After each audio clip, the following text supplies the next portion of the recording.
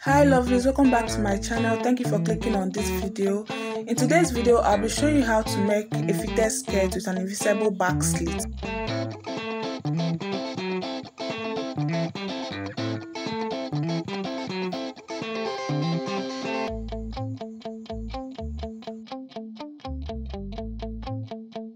So after you folded your fabric in two, the next will be to place your skirt length. So the skirt length I'm using here is 21 plus 2 inches sewing allowance, 21 plus 2 which is 23. After that, I went on to place my waist measurement on top of the skirt. So my waist measurement divided by 4 is 8. I placed it and I also added allowance for it. I added 2 inch allowance plus 1 inch for that which is 3 inches allowance on the waist. Then I went down to my hip point and placed my hip measurement divided by 4 then added 2 inches allowance for it.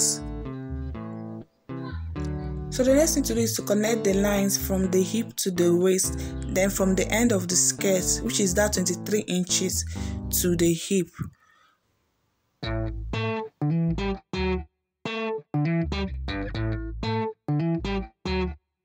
So now it's time to cut it out. So with a pair of scissors, just cut it out carefully.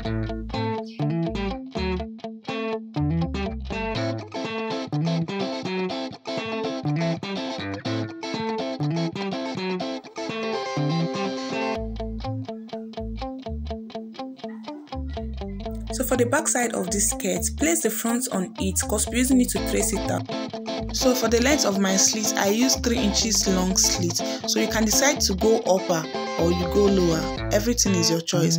Then 3 inches long plus 2 inches sewing allowance which is 5 inches so I went on to mark it there remember the 2 inches I added is the same sewing allowance I added on the front of the skirt so next thing I did was to add my zipper allowance of 1.5 inch that is one and a half inches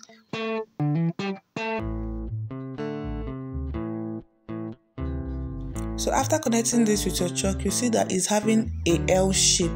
If yours is not having a L shape, then you know you didn't do it correctly. So now the next will be to cut it out with my scissors.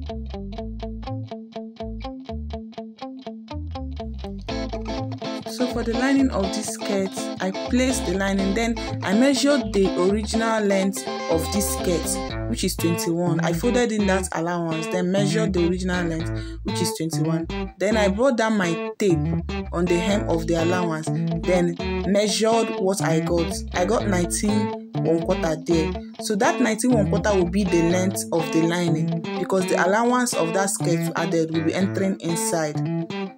So I marked 19 one quarter on it. Then I placed my skirt this way.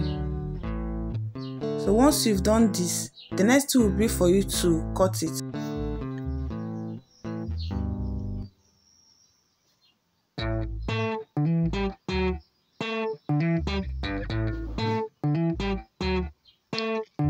Then for the back of the skirt, the same way we place that 19 one quarter, also place it for the line on the back. Then trace it and cut out that same L shape we did. So don't forget to like this video and subscribe to my channel. Turn on your notification bell so you'll be notified whenever I post a new video. Thank you. So after cutting this out, the next will be to measure your skirt band. And for the skirt band, using your waist measurement, that is your round waist. My round waist is 32, so I marked 32 plus 1.5 inch for zipper allowance, then 4 inches wide. Don't forget to add the zipper allowance to the waistband. Then I cut it out. This is one side of the back, so I'll be showing you how I did that because I wasn't able to video this while I was sewing it. lay the fabric on the right side then place the lining on top of it. So i'm using my pin to hold it. So you'll be pinning it end to end like the two ends of this fabric. You pin them together the lining and the main fabric. So after you've done that you draw this up like this. So this line which i pinned you'll be stitching on them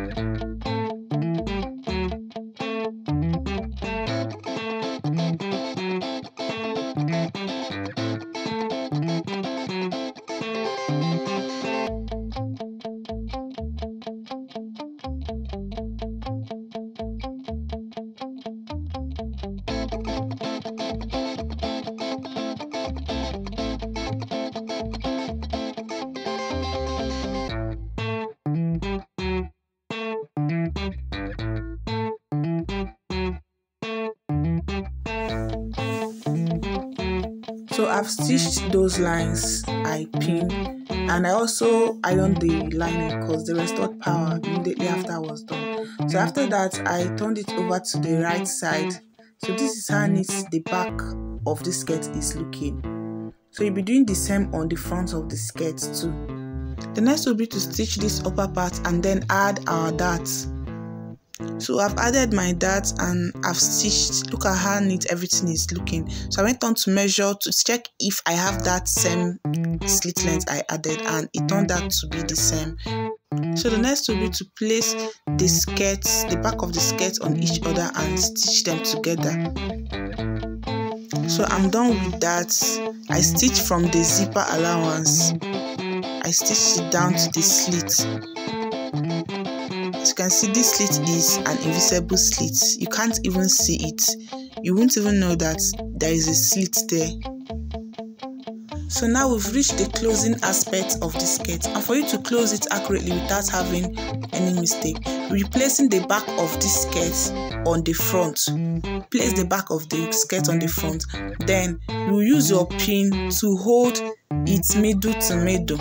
Start from the zipper allowance that we notched and the center of the front that we also notched so pin everything middle to middle because that is where we'll be taking your measurements from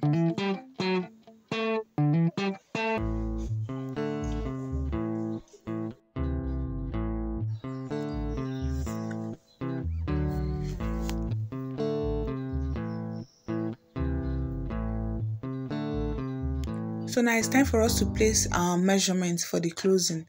So I started mm-hmm. off by marking my hip point first. My hip point is 8. That is where I'll be placing my hip measurement. So I went up to my waist area. From the middle that we pinned, you mark your waist measurement. My waist measurement is 8 that is my waist measurement divided by 4 is 8 i marked it there then i went down to my hip measurement my hip measurement divided by 4 is 10 and a half i also marked it there. After marking it you'll be joining it with your straight line. Connect the lines. You might get a straight line you might get a curve. Everything depends on the body measurement you're using. So i didn't want mine to be a very pencil skirt so i just made a slight curve on it. After this i'll be taking it to my sewing machine to stitch it so i'm done with the stitchings and the next thing i'll be to add the skirt band. And this is how you add the skirt band. We're adding the skirt band from the inside of the skirt so you open up your skirt and you'll be opening up this zipper allowance that we closed then from the inside of the skirt place the waistband in the center of the skirt so you'll be stitching it around the skirt's waist. Then on top of the skirt you'll be top stitching on it this way. So after adding the band i also added my short skirt zip to the skirt and now we successfully made a fitted skirt with an invisible back slit. Thanks for watching. See you in my next video. Bye